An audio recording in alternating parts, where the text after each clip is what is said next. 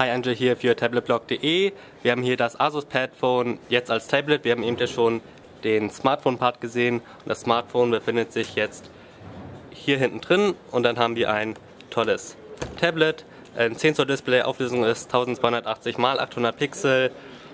Scheint ein IPS-Display zu sein, zumindest sind die Blickwinkel hier recht gut. Sieht alles gut aus.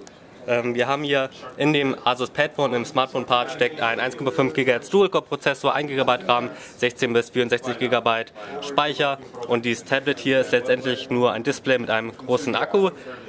Wir gehen trotzdem mal um das Gerät herum. Äh, wir haben hier ein Power-Button, dann hier ist dieser Port, wo das Smartphone reinkommt. Da hinten kommt auch die 8 Megapixel Kamera und der Blitz raus. Dann haben wir hier an der Seite weiter nichts. Hier unten haben wir noch einen Konnektor für die Dockingstation. Und das hier scheint so ein Rocker-Switch zu sein, um die Lautstärke zu regeln.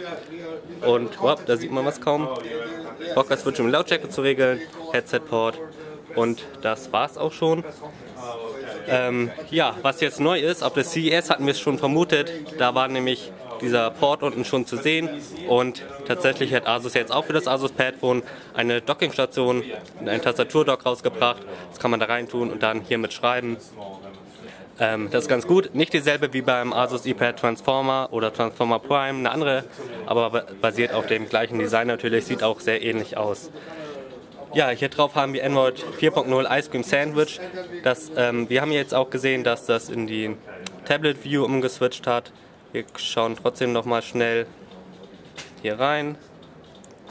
Und dann haben wir tatsächlich Android 4.0.3 und wie auf dem Padphone Smartphone auch diese, ich glaube Padphone Station nennen sie diesen Tablet-Part, auch damit ist das natürlich ziemlich schnell.